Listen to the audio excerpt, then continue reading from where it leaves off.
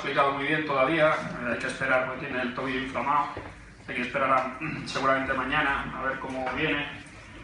Esperemos que no sea nada importante, pero la verdad es que también ha sido una mala suerte porque ya también se coarta un cambio y nos ata un poco más de manos, pero esperemos que lo de Adán, los doctores no nos dicen nada porque tiene hielo y el, el tobillo inflamado y un poco más.